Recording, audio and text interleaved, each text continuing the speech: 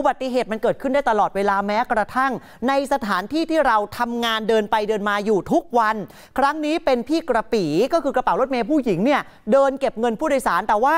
นอกจากไม่เกาะอะไรแล้วนะอ่าคุยโทรศัพท์ฮะอ๋อจับเออมือเนี่ยเดินอยู่บนรถเมย์ไม่มีอะไรเกาะเลยคุยโทรศัพท์เนี่ยร่างกายเป็นอิสระจากทุกสิ่งปรากฏ คนขับเบรกกระทันหัน ตัวพี่เขาเลยเสียหลักไปฟาดกับไอ้ตรงกล่องห้องเครื่องตรงนั้นน่ะโอ้โหคุณผู้ชมหัวแตกเลือดอาบหน้า กลายเป็นผู้โดยสารต้องมาช่วยพี่กระปีคนนี้ปฐมพยาบาลครับ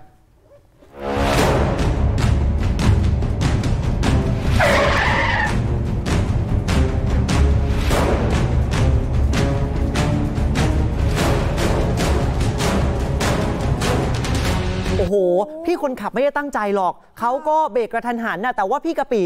โทรศัพท์ก็จะคุย เงินก็จะเก็บนะฮะ มือก็ต้องถือไอ้ที่เก็บตังค์อุ๊ยไหนโชว์ต้องออกตั๋วอีกหลายสกิลมากเออค่ะพอเดินมาตรงนี้เสร็จปุ๊บเบรกกระทันหันหน้าทิ่มเลยทีนี้ แล้วหัวไปโดนกับอะไรอะ ตรงห้องเครื่องนะเหล็กทั้งนั้นเลยนะใช่ดิสาย 97 ครับคุณผู้ชม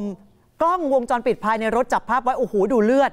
ก็ได้เลือดเลยเหรอเลือดเลยเพราะว่าหัวเนี่ยไปโขกกับไอ้ตรงขอบตรงห้องเครื่องเต็มๆนะครับคุณผู้ชมเหตุการณ์นี้ วิ่งอยู่บนถนนพระราม 6 แยกเอ่อ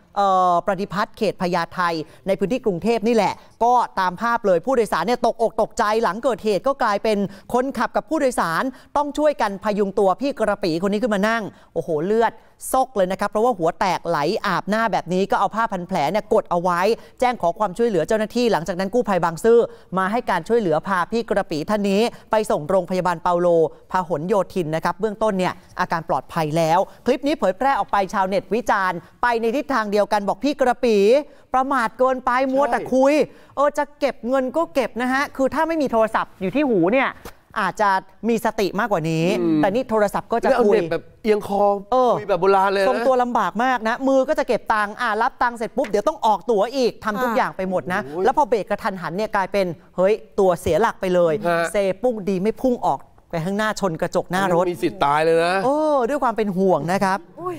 เฮ้ยเห็นเลือชดนแล้กวระสจกยองวะเนี่ยมากชนขอบเหรอขอบคอนโซลข้างหน้าพุ่งไปเลยอะว้ายอืมนี่ผมเห็นแล้วผมเมื่อยคอแทนท่านเลยนะฮะโอ้ทุระอะไรนะ ใช่